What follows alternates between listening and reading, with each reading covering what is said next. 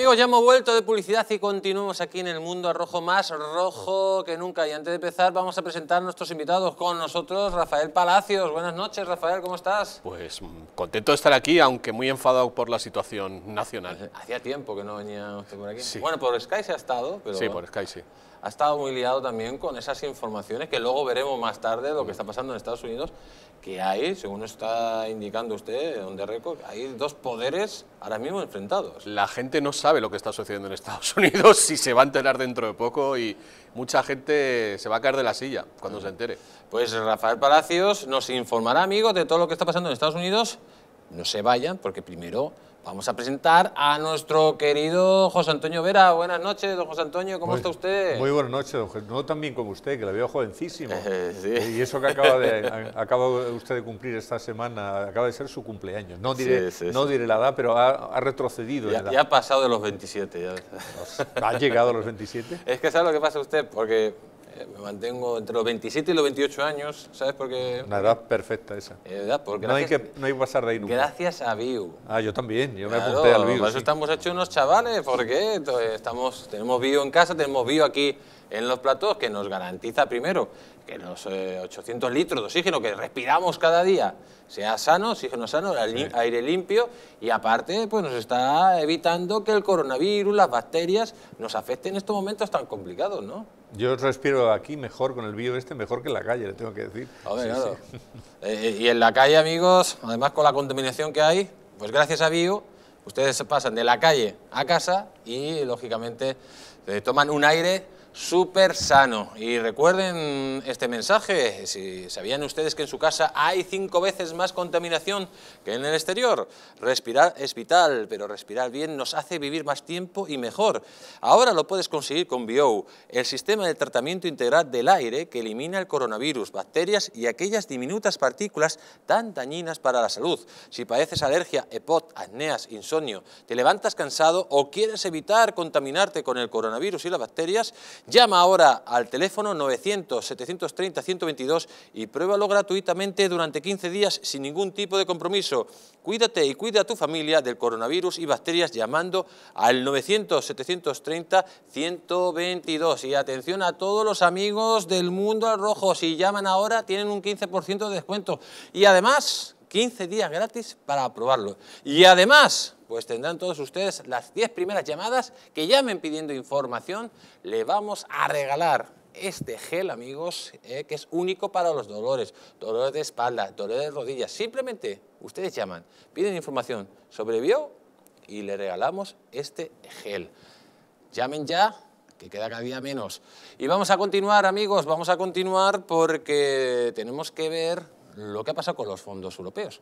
Y concretamente vamos a ver lo que ha pasado con esos fondos europeos y con el informe, atención, con el informe del Consejo de Estado que el Partido Socialista, la señora Calvo, ha cogido y ha ocultado a todos los españoles. ¿Qué diría ese informe? ¿Qué diría, atención, ese informe? ¿Y qué le diría a este gobierno de chiquilicuatres para que cogieran y lo sacaran del dossier? Vamos a escuchar al señor Casado. Señor Sánchez, le voy a hacer una pregunta muy directa y le recuerdo que aquí no puede mentir. ¿Por qué ha arrancado el informe del Consejo de Estado del decreto de fondos europeos para ocultárselo a las Cortes? Es la primera vez en la historia democrática que se hace esto y es un escándalo que puede anular el decreto y que puede hundir aún más la reputación internacional de su Gobierno. Usted ya ha ocupado la Fiscalía, el CNI, la CNMC, la CNMV, el CIS, la Televisión Española, el Consejo de Transparencia y hasta ha intentado asaltar el Poder Judicial, pero esto ya es el colmo. Ahora entendemos por qué nombró ayer el Consejo de Estado la vacante del Andenino La Villa y se creó una nueva sección sin consenso y sin publicidad. ¿Por qué quiere repartir los fondos europeos sin control?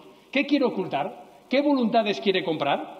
Por eso lleva seis meses rechazando la autoridad independiente que le hemos propuesto. Conteste antes de enterarnos por el Consejo de Estado. Hoy mismo hemos registrado una petición de información oficial y le recuerdo que es de obligado cumplimiento. Deje de prender fuego a todo para ocultar su negligencia.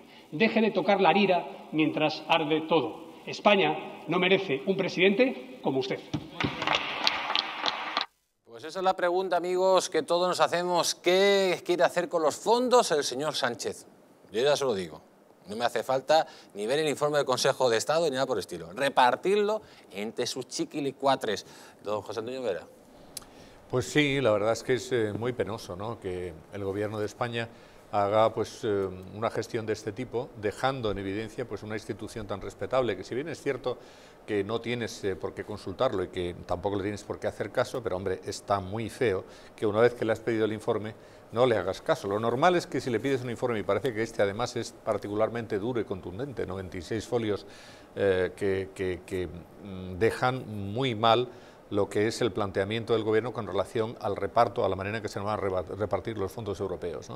Entonces, eh, hombre, si el, Consejo de Estado te dice, pues esto no está bien, esto tampoco, debería ser de la otra manera, lo normal es que mm, modifiques algo y que lo adaptes un poco a, estas, a las exigencias o los planteamientos de estas personas, que son personas reputadas, magistrados, que son personas con, mucha experiencia en la administración, juristas, etcétera, etcétera, eh, y que efectivamente pues, eh, tienen un criterio bueno y razonable. Pero claro, como le han dicho que no le parecía bien eh, la manera en que estaba hecha el, tema del planteamiento del reparto de los fondos, pues simplemente lo quitamos en medio, nos lo adjuntamos, desaparece y se acabó. El problema es que eso se va a, terminar conociendo, porque todas estas cosas terminan, tardará un poco, pero al final se termina conociendo y van a quedar todavía más en evidencia. Hubiera sido más, eh, más eh, útil y razonable decir, bueno, pues algunas de las cosas sí que hacemos caso y otras no aunque en cualquier caso iban a quedar mal, porque hay un tema que es impresentable y es que cuando se trata de recibir eh, esta cantidad de fondos que vamos a recibir de Europa tan importante, eh, 140.000 millones, hombre, vamos a hacer las cosas bien, un mínimo de consenso con los partidos más importantes del Parlamento para que al final esto no sea un reparto de yo le doy el dinero a que me da la gana qué es lo que puede ocurrir, como ha ocurrido en tantas ocasiones eh, que, hemos, en que hemos tenido eh, ocasión de ver cómo repartían los fondos los gobiernos, diferentes gobiernos socialistas. ¿no? Esto tendría que tener, pues, eh, no sé, un tratamiento científico, entre comillas, para que las cosas se hagan bien y para que lleguen a todos los sectores afectados que tienen necesidad de reponerse después de esta, trágica situación de pandemia. ¿no? Don Rafael. Pues la verdad es que en la línea de lo que, se, de lo que estamos viviendo. Es que, es que las instituciones no tienen ningún valor hoy en día. Las instituciones están, bueno, pues como rémoras de, de algo, de un, proyecto de país que ya no tenemos, en el cual, bueno, pues gracias a esta, esta pandemia, pues ha desaparecido cualquier tipo de control sobre el partido gobernante y sobre todos los, los que le hacen el seguidismo es una, una dictadura mm, virtual la que pasado de una partitocracia a una tiranía directamente, ¿no? Pues sí, pues sí, esa es la situación. Eh, el que tiene el control ahora mismo de la percepción sobre la realidad de esta amenaza con la que llevamos un año, bueno, pues puede manejar con ese pretexto todos los resortes del país y bueno, pues eh, yo creo que en el fondo todos los partidos políticos temen a Pedro Sánchez ahora mismo porque tiene la sartén por el mango. y, bueno, pues solo hay un partido en, todo el arco parlamentario que se le atreve, a, le atreve a, toserle y los demás pues bueno, pues hacen un poco el paripé, pero en definitiva van todos a una. Pues están escuchando a nuestros invitados, pero vamos a leer la siguiente noticia. Sobre todo esta noticia muy importante para todos los amigos que se van a jubilar o prejubilados. Atención, Sánchez e Iglesias promete a la Unión Europea recortar las pensiones de los prejubilados. El, el cobro del rescate europeo por parte de España tendrá consecuencias y sonadas. El gobierno de Pedro Sánchez y Pablo Iglesias se ha comprometido ante Bruselas a infinidad de reformas legales con tal de percibir los 70 millones de ayudas directas de la Unión Europea. Una de estas medidas afecta al cobro de las pensiones por parte de las personas que pasan a la jubilación antes de la edad legalmente establecida, los conocidos como los prejubilados. Amigos, atención a esto, porque es que al final el dinero tiene que salir de algún lado y las concesiones tienen que salir de algún lado. Y todo esto no hay que pagarlo. Tenemos al otro lado de Sky a don Roberto Centeno. ¿Cómo está don Roberto Centeno, el hombre censurado por YouTube? en fin. Es usted un ciberacosador y, y, realiza intimidación cuando habla del paro en España. ¿Qué, es lo que pasa, don Roberto? Efectivamente, pero estoy preparando una carta para eh, para Ursula von der Leyen explicando el tema, porque es que no solamente fue el tema del paro, es que han mentido en todo de una manera brutal, como no ocurría ni siquiera en la época de Zapatero, el indigente mental. ¿eh? Eh, han mentido en el PIB, han mentido en la deuda, han mentido en el empleo, porque el empleo no hay 3,7 millones de parados, señoras y señores, hay 6 millones. Bueno, total, esto como se puede mostrar muy fácilmente y además me ayuda bastante el tema de YouTube, se lo voy a contar a la señora van der Leyen, que luego hará lo que le dé la gana, pero eh, por lo menos no podrá excusarse en que no lo sabía.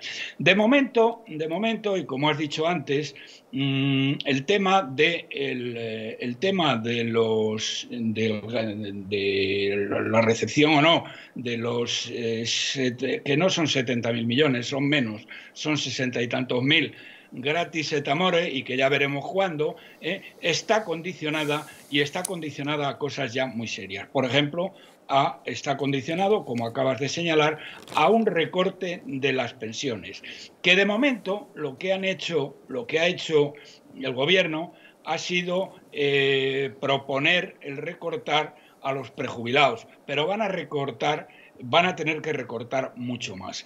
Pero hay una cosa que eh, está relacionada con esto y está relacionada realmente con todo, mm, que a mí personalmente que ya eh, creía que no me asombraba nada, eh, me he quedado patidifuso. Fíjense ustedes, señoras y señores, el inepto de ella, este mentecato, este analfabeto que ha realizado la peor gestión sanitaria del mundo, del mundo, no del mundo desarrollado, sino del mundo mundial, ¿eh? con más muertos y más infectados por 100.000 habitantes. Lo llevan a Cataluña y como no tiene nada claro que vaya a ganar, ¿saben ustedes lo que ha hecho este tío? Les ha vendido España, les está vendiendo España a los catalanes. Les ha dicho primero eh, que va a proponer un sistema de financiación autonómico de corte federal. Pero vamos a ver, pedazo de mendrugo, ¿qué quieres decir con tamaña chorrada? Ya hay un sistema federal, excepto el País Vasco y Navarra, que esos lo expolian todo, lo suyo y lo de los demás. Entonces, ¿qué es lo que pretendes? Que el Estado desaparezca y que recauden las autonomías. O sea, el fin de España. No solo eres un ignorante, es que además eres un traidor. Pero hay algo peor todavía, que se van a quedar patidifusos. Muchísimo peor. Este canalla eh, porque no tiene otro nombre, no se le puede definir de otra manera, con tal de ganar las elecciones como sea, está ofreciendo condonar la deuda de Cataluña, que es la mayor de España con diferencia. ¿Saben ustedes lo que nos debe la organización criminal mm, de la Generalitat a la cual financió el golpe de Estado el señor Rajoy, nos deben 80 mil millones de euros, 80 mil millones de euros. Es decir, lo que les está diciendo este tío es que les va a condonar les va a condonar la deuda, si él es presidente, 80 mil millones de euros. Miren ustedes, eso es ocho veces no el presupuesto, sino el gasto de defensa, ¿eh? todo el gasto en sanidad, del año pasado, que fueron 79 mil millones de euros, y este tío se lo quiere condonar. Es decir, a los señores eh, jubilados, que lo tengan muy claro, el dinero que les va a quitar, eh, no solo a los prejubilados, es que se lo va a quitar a mucha más gente, porque eh, la señora van der Leyen vamos, y el equipo económico de Bruselas les va a poner un montón de exigencias. No cabe duda, como habéis dicho al principio, de que estos tíos están pensando en despilfarrar este dinero en sus chiringuitos. Pero una cosa es lo que estén pensando y otra muy distinta lo que van a poder hacer. Y de momento van a tener que pegarle un tajo a los jubilados impresionante, que lo han disimulado con el tema de los prejubilados, porque así el tema no asusta tanto. Pero ya se pueden ir atando los machos, señoras y señores. Grecia tuvo que reducir en un 35% las pensiones. Y ahora estos tíos que le piensan dar 80.000 millones de euros a Cataluña, les ha prometido este canalla de ella, tomen buena nota, ¿eh? Para aquellos que todavía votan socialista, que hay que estar verdaderamente locos para votar socialista, y no digo nada, votar Podemos, que además de ser la izquierda Mm, la hez de la hez de la izquierda mundial son unos traidores a su patria, cosa que no podrían serlo si vivieran en Venezuela, eh, es que les está prometiendo 80.000 millones. Y el otro día, en pequeña escala, eh, pero que ya se dan ustedes cuenta de por dónde van los tiros, a Errejón, eh, a Errejón, un analfabeto que no sabe dónde tiene la mano derecha, le acaba de dar la podemita ministra de Trabajo, le acaba de asignar 50 millones de euros para que piense, fíjense ustedes, para que piense, el rejón que no ha sido capaz de pensar que dos y dos son cuatro, para que piense sobre la jornada de cuatro días laborables. No es que tenga que escribir, no es que tenga que preparar un informe porque no sabe, ¿eh? es simplemente que piense. Es decir, por pensar el señor Errejón cómo se hace una jornada de cuatro días laborables, le han dado o le van a dar 50 millones de euros. Así, así don Roberto, así da gusto pensar, ¿eh? que te dan 50 millones por pensar, pues una mamarrachada, eh, porque ahora mismo, como están las cosas, reducir la jornada laboral a cuatro días, pues yo creo que es lo que menos necesita el país. Don Roberto Centeno, Muchísimas gracias y nada, esperemos que esto que ha dicho usted pues de nuevo no signifique una censura en YouTube, porque tiene usted la lengua muy afilada, cuídese usted mucho. Bueno, se lo contaremos a, a, Van der Leyen, que por lo menos, por lo menos, algunas cosas sí que parece que está haciendo de lo que le escribimos. Un fuerte abrazo, don Roberto. Y amigos, vamos a seguir, vamos a seguir porque, bueno, el señor Iglesias no quiere que Calvente cuente en el Congreso por lo siguiente. El exabogado de Podemos describió de forma minuciosa, según indica el juez Manuel García Castellón, en la exposición razonada que elevó el 7 de octubre ante el Tribunal Supremo contra Iglesias, cómo se orquestó y desarrolló el ardiz que sirvió para denunciar de forma falsa a OK Diario las intervenciones de Calvente apuertan pruebas completas que el magistrado, amigos, pues eh, resumió en un auto.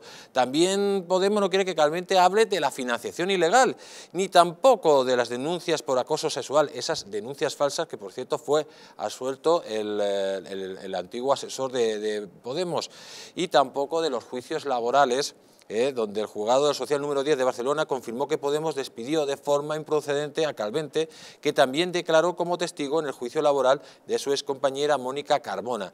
Finalmente testificó ante la Fiscalía de Madrid tras una denuncia de voz contra los fiscales del acoso Tanden. En definitiva, amigos, estos señores eh, quieren ocultar sus vergüenzas como sean.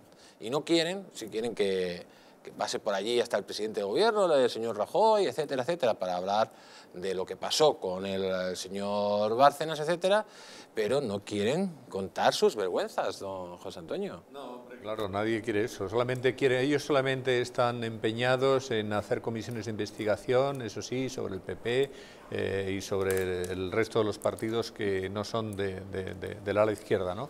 Pero eh, la comisión sobre ellos pues eh, absolutamente blindada y por supuesto no se va a hacer nada. Y eso que hay un montón de asuntos que, como ha relatado usted, eh, don Jesús, pues efectivamente les afectan. ¿no? Esta semana hemos tenido un nuevo episodio, efectivamente ha, comentado el caso de esta abogada que se encargaba un poco pues, de velar por, por, que hubiese una gestión eh, con arreglo a la ley dentro de la organización y que al final le hicieron la vida imposible y la echaron, según mm, relata ella. ¿no?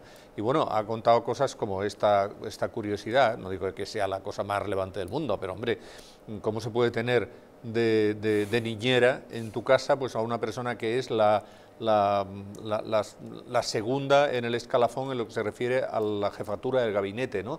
De, O sea, una niñera que pagaba usted, don Rafael claro, porque, Claro, porque cobra, la cobra 50.000 euros del erario público. Si cobra 50.000 euros del erario público y luego le dices, bueno, pues en los ratos libres trabajas de niñera en mi casa, ¿no? Parece que es lo que es, porque no, no sabemos que le estuvieran pagando, por lo menos eso se aclara. Cuando resulta que es, todo reglado y legal y perfecto, se interviene y se aclara perfectamente. esta señora alcanza el puesto que tiene ahora dentro del Ministerio de Igualdad porque ya era la niñera de, Irene Montero en Podemos. Bueno, sabemos que no, sabemos qué, fue lo primero, yo en ese momento no lo sé, pero casi es lo mismo. Es decir, eh, lo, cierto y verdad es que le pagan, cobra un sueldo importante de la administración pública y luego pues eh, hace esa tarea, digamos, de, niñera pues, de la familia eh, Montero, Iglesias Montero. Entonces, mire, es que al final todas las cosas son así. Ya no se acuerdan para nada cuando decían que yo viviré eh, in eternum, ¿no? En, el, pisito de Vallecas. No, no, no. En el pisito de Vallecas no. Ahora hay que irse pues a la mansión, que ya por cierto les parece mal porque usted sabe que quien tiene más escoltas y quien tiene más seguridad de todo el gobierno es el señor Iglesias. Pero no sabe usted la obsesión que tiene con el tema de la seguridad. Es una barbaridad. O sea, en la Guardia Civil y la policía están escandalizados porque todo le parece poco. Y entonces tiene mm, todo un equipo altísimo de, gente que está a su servicio, que a ver cuándo podía él pensar que eso iba a ocurrir. Y por otra parte, como la mansión se le ha quedado pequeño y además le molestan, porque le molesta que la gente vaya allí a decir cosas, claro, pues si la calle es de todos. Sí, sí, es que la calle, no, la calle no es suya, ni es, en fin, la calle en la medida en que usted vive ahí, es una calle de muchos vecinos, pues eh, puede ir cualquiera. Pues eh, como si ya no le parece bien, pues ahora tiene que ser una, una, urbanización, según dicen las malas o las buenas lenguas, que no sé cuáles son. Más exclusiva todavía. Eh, más exclusiva, súper privada desde el punto de vista de la seguridad, para que ya nadie pueda aparecer por allí. Ni el, ni el, perro directamente. Ni el perro. De todas formas, don Rafael, lo mal lo, bien, lo mal que están viviendo los españoles para que el señor Iglesias viva tan bien. O sea, el señor Iglesias al final no quería que los españoles viviéramos mejor, sino él vivir mejor a costa de los españoles, ¿no? Yo, cuando escucho estas cosas, conociendo el, mundo podemita, porque lo he conocido de cerca, tengo amigos que, que votan a ese partido, la verdad es que me pregunto qué estarán pensando de aquello en lo que confiaron, en lo que se ha convertido todas estas cosas que estamos hablando de la exclusividad. A mí me gustaría, me gustaría mm, hablar con gente, votantes de, Podemos, y, que se expresaran, ¿no? A ver su decepción respecto a aquello que lo que confiaron y lo que se ha convertido, porque es justamente todo lo contrario de, sus ideales, de sus principios morales, ¿no? Pero bueno, en definitiva lo que veo es que es un partido mm, que es una familia, es una familia en el, en el mafioso sentido de la palabra es un, es un, es un huerto privado y se comporta un clan. se comporta una casta, se comporta como tal y bueno, pues aquel, todo aquel que sea disidente pues eh, sufre lo mismo que sufrían en la época de Stalin las purgas, pues es exactamente igual. Pero se ha convertido en lo, que se convierte en todos los clanes y todas estas familias de élite en los regímenes comunistas, que es así. Al final dicen, no, no, sanidad pública, que es estupenda. Pues sí, sí, pero ellos dentro de la sanidad pública tienen una sanidad privada para ellos como la tenía Fidel Castro, como la tenía Stalin, como las han tenido todos. Y los mejores, las mejores mansiones, palacios, coches, absolutamente todo, al final lo tiene esa élite comunista eh, que es a lo que aspira el señor eh, Iglesias y, su equipo. No, aspira no, ya están. Ya están, ya, están, sí. No, no, no, tiene más aspiración. Amigos, estamos escuchando ustedes la opinión de nuestros invitados. Vamos a conectar con nuestra querida Verónica. Primero que nos va a dar una información, eh, porque ya estamos bendecidos por la mano de Dios. Verónica, el pasado lunes, vino aquí a los estudios de Distrito de Televisión, nuestro querido padre Juan, a bendecirnos, ¿no? Así es, Jesús Ángel, muy buenas noches para ti, muy buenas noches para todos. El pasado lunes, primero de febrero, recibimos en nuestra planta televisiva la bendición de Dios. Gracias al Padre Juan que vino al plató y al canal justo antes de iniciar el programa de Los Intocables con Javier Algarra a dar la bendición a todos los invitados, a todos los empleados de esta planta televisiva y a todas las personas que hacen posible que podamos llegar a sus hogares. En los vídeos podemos ver eh, el momento de la bendición también junto al presidente del canal, o Jesús Ángel, frente a ti, que también estabas allí. Le agradecemos, por supuesto, al Padre Juan, al igual que a todas las personas que hacen posibles que esto se cumpla. Y entre todas las personas están ustedes, nuestros queridos espectadores que nos siguen no solamente por frecuencias ordinarias, sino también por redes sociales. Y como siempre, como siempre, distinguen lo que es la verdad. Bonito momento, Jesús Ángel. Sí, la verdad, amigos, que nosotros siempre decimos que solo nos ponemos de rodillas ante todo el poderoso y para luchar contra el maligno del marxismo necesitamos la bendición de Dios, Verónica, y así ya la tenemos aquí, ya estamos protegidos contra esos espíritus malignos que nos quieren hacer daño. Es así. Antes de empezar a leer los mensajes de todos nuestros espectadores, les quiero recordar, por supuesto, el sorteo de los tres libros que tú anunciaste al principio del programa Jesús Ángel de Cuando éramos invencibles en su novena edición. ¿Cómo pueden hacer para participar? Escriben al número de WhatsApp 669-728673 quiero participar y anunciaremos pronto quiénes son los ganadores de estos tres libros. También, por supuesto, les recuerdo nuestro canal de Telegram, Distrito TV, Dailymotion y Patreon para que no nos venza la censura. Ahora sí vamos con todas sus opiniones. Empezamos. El poder de las instituciones en España proviene del pueblo español. Esto se llama soberanía del pueblo y no se aplica pues todo el gobierno se mofa del pueblo. Vamos con otro mensaje. Las instituciones tienen prohibido hacer leyes según sus intereses. Esto es falso, pues el gobierno hace y deshace al libre albedrío. Y ya no hablo del juramento de fidelidad a la corona y de la Constitución, por parte de independentistas, Bildú, Podemitas y alguno más. Pero todo lo que dice este gobierno es mentira. Este mensaje nos lo manda José desde Valencia. Pues eh, de aquí un fuerte saludo a todos los amigos que nos mandan mensajes eh, por WhatsApp. lógicamente son miles y miles de esos mensajes que recibimos durante toda la semana y lógicamente hacemos un pequeño resumen. Verónica, ¿tenemos algo más que nos cuentes? Claro que sí, aquí tenemos uno más y referente a las elecciones en Cataluña dice, se deberían espabilar los catalanes, lo tienen claro y ya no va allí a otra cosa, solo a obedecer. Sí, digo la verdad.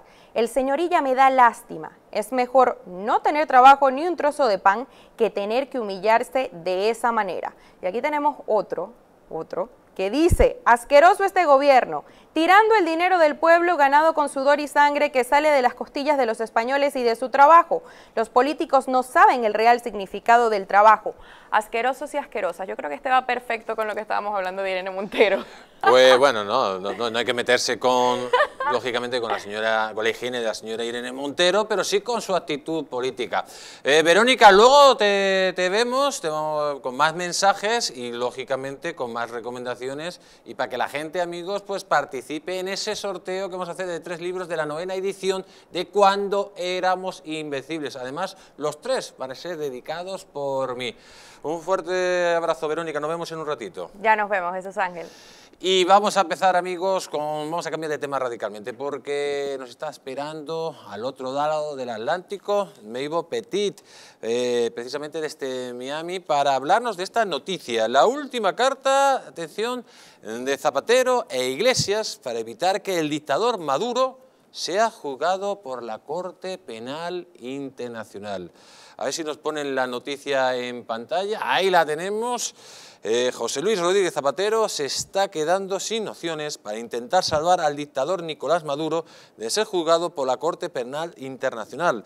El expresidente español, que busca que el gobierno de Joe Biden levante las sanciones impuestas a importantes cabecillas del régimen de Nicolás Maduro, viene presionando junto a Iglesias, Baltasar Garzón y Lolita Delgado y José Borret para proteger al chavismo de ser enjuiciado por los crímenes de lesa humanidad. A pesar de que el nuevo fiscal de la Corte Penal Internacional debió ser elegido el pasado diciembre de 2020, el proceso ha venido sufriendo un conjunto de problemas que han llegado a que se postergue pues, su elección. Según ha confirmado fuentes diplomáticas, existe una delegación de España que está intentando aprovechar dichas alteraciones para impulsar la elección de un fiscal afín a los intereses de la izquierda y en particular de Nicolás Maduro. El movimiento está siendo liderado por el expresidente español José Luis Rodríguez Zapatero y el exjuez Baltasar Y su pareja, la fiscal general del Estado, Dolores eh, Delgado. Sin embargo, no son los únicos, ya que también vinculan a Pablo Iglesias y a Josep Borrell. Las fuentes muy cercanas de la Corte Penal Internacional afirman que quieren colocar a un fiscal que mantenga la línea de la saliente fatua Bensuoda, de su antecesora Luis Moreno Ocampo, quienes han venido evitando juzgar los crímenes de lesa humanidad de Hugo Chávez y Nicolás Maduro, a pesar del gran volumen de evidencias en contra de la dictadura chavista. Pues amigos, blanco y en botella. ¿Para qué vino aquí Delcy Rodríguez con las maletas? ¿Por qué el señor ¿Por qué el señor Sánchez ganó las primarias? ¿De dónde salieron esos votos? O algunos dicen que fueron de Podemos. ¿Podemos de dónde viene? Podemos viene, amigos, ¿eh? y claramente es una franquicia de Venezuela. Por lo tanto, ¿eh? no nos sorprende que el señor Zapatero, que es el embajador de la narcodictadura, junto a sus títeres, a, sus chiclicuatres, pues intenten ante la Corte eh, Internacional que no pongan un fiscal en condiciones. Tenemos al otro lado del Sky a Mabel Petit. Buenas noches, Mabel, ¿cómo estás? Al parecer todavía no, la tenemos. Eh, mientras tanto, don Rafael, eh, don, bueno, don Rafael, ¿qué opina usted de esto? Bueno, vamos a ver si el, esta administración Biden paraliza las investigaciones que estaban en curso acerca de los dineros que tiene Maduro en los paraísos fiscales. Y bueno, pues eh, va a depender mucho evidentemente de lo que pase en Estados Unidos, de lo cual luego hablaremos acerca de si realmente la, la presidencia de Biden es efectiva o es, es, es un fantasma, es un fantasma que parece que está pero en realidad no está.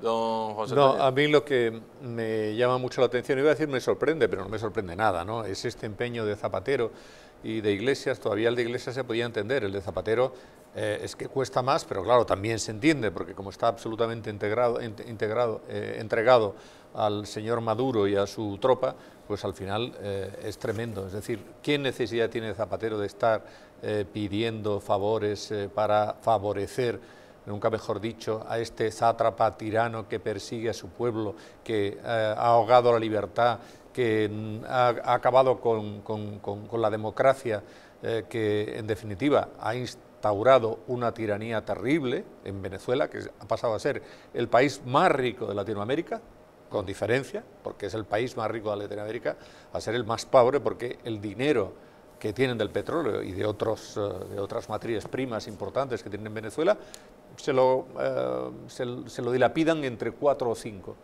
Y al final uno tiene que, soportar que el señor Zapatero esté viajando constantemente, que algún día debería explicar quién le paga tanto viaje, sus estancias allí y todo esto, porque, en fin, algún tipo de transparencia tiene que haber con relación a todo eso, que, que al final esté eh, defendiendo al señor Maduro, porque ya nadie se cree la teoría de Zapatero, esta que quería trasladarnos en el sentido de que es que él es neutral. No, diga, usted no es neutral.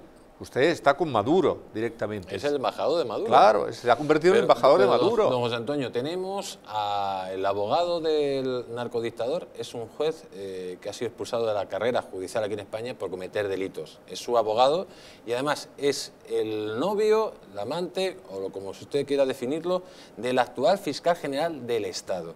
Una fiscal general del Estado que, según esta noticia, está influyendo directamente la Corte Penal Internacional para que pongan un fiscal pues suavecito para Maduro y que no le juzgue por los delitos de esa modalidad.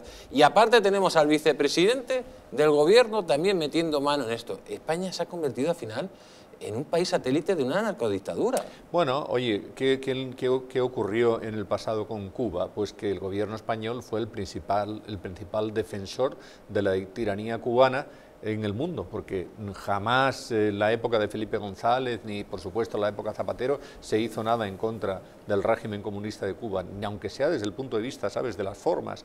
Bueno, pues ahora lo mismo, lo que habría que preguntar es qué es lo que hay detrás de todo eso, es decir, por qué este interés entre todo ese Dream Team que dice usted, de personalidades, por favorecer a Maduro y por evitar que Maduro eh, pues eh, vaya donde tiene que ir, que es efectivamente a, ser juzgado, suponiendo que pudiera ir, porque al final esto es un procedimiento que se abre, pero es complicado de que el señor Maduro, sabiendo que le persiguen, vaya a ir a la Corte Internacional a ser juzgado, pero por lo menos que lo sepa, que lo sepa, que está perseguido y que si como salga de Venezuela, pues efectivamente le van a coger y va a tener que dar cuenta en la Corte Internacional. ¿Qué es lo que hay detrás de todo eso?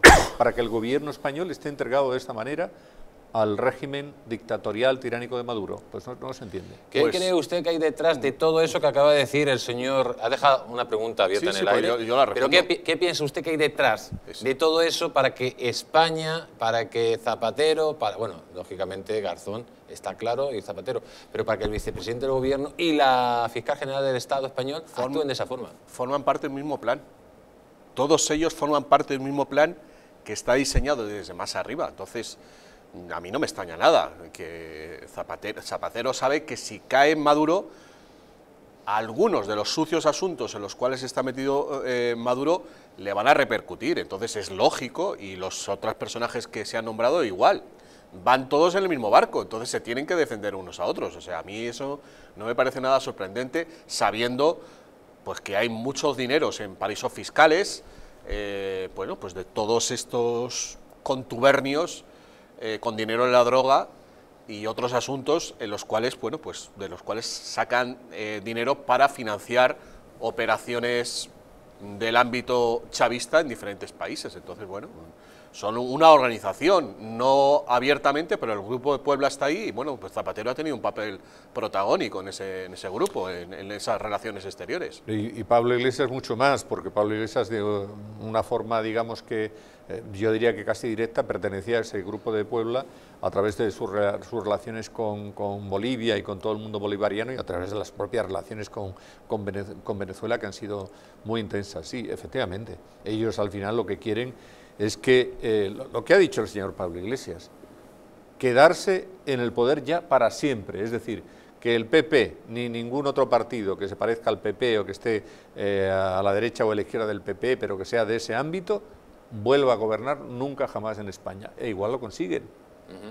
Y don Rafael, una penúltima pregunta porque este tema da para, mucho. Eh, ¿Cómo es posible que la Corte Penal Internacional eh, haya los fiscales anteriores que estén casi pues, eh, de la, se da de acuerdo de una narcodictadura. ¿En qué se ha convertido la Corte Penal Internacional cuando hay fiscales que paran, digamos, paran todo lo, que está pasando en Venezuela, que es prácticamente pues, la, muerte de miles de personas, el, el, éxodo de millones de personas, la destrucción de un país por una banda de delincuentes, pero sin embargo, eh, luego eh, las redes sociales a lo mejor, mm, o los medios de comunicación, ponen a Donald Trump, que no ha hecho absolutamente nada de esto parecido, le ponen como un monstruo. A ver, no soy un experto en ese tema de la Corte Penal Internacional, pero bueno, lo que sí sé es que existe un poder eh, planetario al que se conoce como mm, los globalistas y bueno, pues en realidad ese poder maneja todos los entresijos de bueno, las instituciones importantes en, el planeta, llámese el FMI, llámese el Banco Mundial, eh, y seguramente pues en, la Corte Penal Internacional pues también está ese mismo grupo. Entonces, bueno, pues eh, se dedican a defenderse unos a otros. Pues están escuchando a nuestros invitados. Vamos a conectar, ya sí, ya la tenemos, al otro lado del Atlántico, a nuestra querida Mabel Petit. Buenas noches, Mabel, ¿cómo estás? Muy buenas noches, un gran saludo para ti y para toda la audiencia. Meibo, sabemos que estás en un sitio calentito de los Estados Unidos. Te has ido del, del norte a sur, mucho frío en Nueva York. mucho frío, una gran nevada que nos permitió como los patitos venirnos al sur de la Florida. pues espero que, que disfrutes de, de, ese tiempo tan espectacular que está en esa en esa tierra que, tan cercana a nosotros y, tan unida al pueblo español y a toda Hispanoamérica. Eh, la Corte Penal Internacional está manipulada por los globalistas, la Corte Internacional, eh, la Corte Internacional está intentando ser influenciada por Zapatero, Garzón y el señor Iglesias para que no se juzgue al señor Maduro de esos eh, diabólicos crímenes que ha hecho contra la población de nuestros hermanos venezolanos? Ciertamente hay una amplia influencia de las fuerzas globalistas y de izquierda en la Corte Penal Internacional. También Maduro tiene prácticamente la presencia de un grupo de lobby, entre los cuales se encuentra nada menos y nada más que la hermana del antiguo vicepresidente de Venezuela, y actualmente ministro de Petróleo, Tarek El Aizami, quien por cierto también está siendo buscado en los Estados Unidos, ya que fue señalado como una persona que eh, cometió delitos de narcotráfico y de estar vinculados a grupos islámicos terroristas. Así es que existe una amplia influencia del régimen de Maduro en esa instancia, razón por la cual muchos consideran que la investigación que se supone va a ser en base a una serie de em, evidencias que han sido presentadas no solamente por los ah, encargados investigadores de derechos humanos de la ONU, sino también por grupos externos, entre los cuales se encuentran abogados venezolanos que han trabajado el tema y que han llevado ante la Corte Penal Internacional una serie de elementos que prueban la violación constante y reiterada de Nicolás Maduro y su grupo para con los venezolanos que disienten del régimen, entre ellos civiles y militares. ¿Qué va a pasar? Muy probablemente nada. Es decir, que se alarguen los tiempos. Hay que recordar que se ha hecho presión para el nombramiento de ese nuevo fiscal que sustituía a una persona que eh, fue eh, también influenciada por la gobernadora y representante del régimen en la corte, la señora Elaizamí, pero también por otros miembros y grupos de lobby. Así es que la señora Basuda, que era la que estaba en salida, le tocó eh, aguantar presiones y se tardó muchísimo en hablar, en decir que ciertamente había una posibilidad para que se hiciera una investigación. Pero ahora con el nuevo fiscal, con todos estos grupos de lobby y el poder que tiene tanto Zapatero como Pablo Iglesias, el señor Garzón, que maneja muy bien esa área de eh, relaciones, así como también su novia, y otros miembros de la Corte Internacional de Izquierda hacen que eh, pues la presión sobre los nuevos cabecillas de la Corte sea muy fuerte. Entonces, muchos creen que desde afuera debe seguir haciéndose presión para que cumplan con su labor, es decir, para que hagan la investigación y sancionen a Maduro porque hay suficientes evidencias de que él violó de manera reiterada los derechos humanos de los venezolanos y lo sigue haciendo. Y habrá que hacer con grupos democráticos, con gobiernos democráticos que crean en la justicia internacional, ya que lamentablemente eh, desde órganos como la ONU, o como otros um, eh, medios y organismos internacionales, luce bastante difícil. Hemos observado también la presencia de entre las voces que apoyan a Maduro y que piden que se retrase o que no se haga, gente importante de la comunidad europea. Entonces, no son muchas las eh, buenas ah, posibilidades que existen de que se haga esa investigación pero creo que todos aquellos que creemos en la justicia debemos seguir presionando a todas las instancias para que se concluya y se tome una decisión. Pero Maybor, acabas de decir prácticamente, o, has dejado caer, que la Corte Internacional Penal básicamente está vendida, porque cuando el, el abogado de un narcodictador, el, bueno, el embajador de un narcodictador, tienen tanta, fuerte, tanta fuerza en esa Corte Penal Internacional que son capaces de poner quitas fiscales y de condicionar que haya juicio o no contra uno u otros, dependiendo de la ideología que tenga, estamos casi diciendo que la Corte Penal Internacional no sirve para nada, sino para juzgar a alguien que a lo mejor sea de derecha para, bueno, fusilarle directamente en los medios de comunicación, ¿no? Lamentablemente, eh, si ustedes pueden revisar, todos aquellos que nos están viendo en estos momentos, el récord de la Corte a nivel de los años, van a observar cuál ha sido el comportamiento de ese órgano que nació para aplicar la justicia internacional y para evitar que se produjeran crímenes contra eh, muchas personas civiles inocentes y lamentablemente el récord no ha sido el que se pueda aplaudir. Así es que tenemos muchísimas, pero muchísimas dudas de que se vaya a producir una investigación en los términos que establece al menos la norma. Pero, como te digo, a pesar de la gran influencia que tienen personajes que son muy cercanos al régimen de Maduro, nosotros como ciudadanos y como amantes de la libertad, de la justicia y la democracia, creo que debemos seguir eh, presionando a los organismos para que hagan su trabajo. Esto no debería ser objeto de presión. Es decir, la Corte debería actuar porque hay evidencias suficientes que prueban que Nicolás Maduro ha violado de manera reiterada los derechos humanos de los venezolanos y eso es más que suficiente. Sin embargo, debido a la composición y a la influencia que tienen en las esferas de la Corte, no solamente jefes de Estado, sino también cancilleres que, a pesar de que no son venezolanos, el señor eh, Rodríguez Zapatero parece el mejor canciller que puede haberse buscado el régimen de Maduro y otros regímenes. Así es que creo que estas personas tienen influencia, tienen poder y tienen muchísimo dinero y hay que atravesar esa umbrera y creo que tenemos que influenciar nosotros como individuos, como venezolanos, los que somos venezolanos, pero también aquellos que no son venezolanos, pero que saben y están conscientes de la verdadera naturaleza criminal del régimen de Maduro para que se ejerza la justicia internacional, porque ahí está una obligación y una responsabilidad.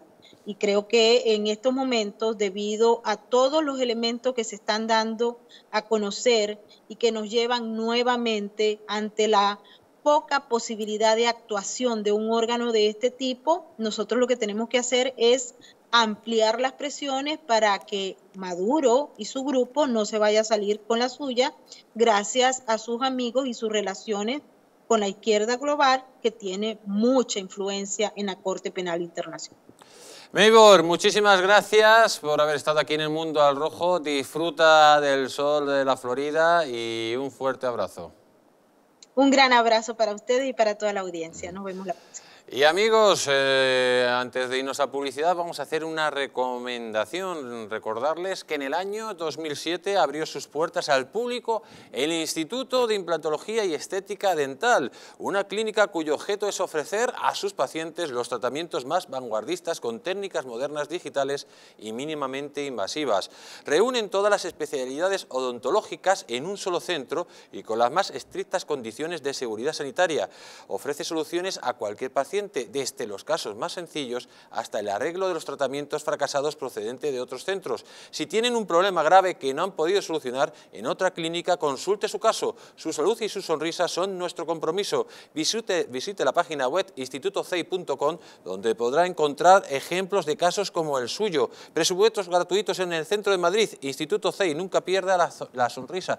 Y amigos, nos vamos a ir a publicidad, pero está aquí don Rafael Palacios, que nos va a hablar, don Rafael, de ese doble poder, de esa bicefalia que está en los Estados Unidos, ¿cierto?